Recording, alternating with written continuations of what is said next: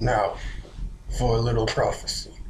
This is the prophecy of the ruler from Chesapeake Bay, the new Bethlehem.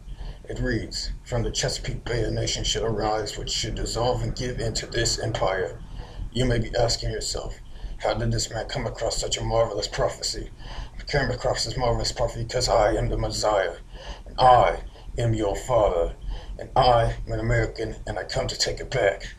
Do not be afraid when you realize the truth of the matter while visiting your corner store, for I have placed the truth in your very soul, and you will place it in the soul of others, your friends, your family, even your puppy dog. Behold, I make all things new. It is done.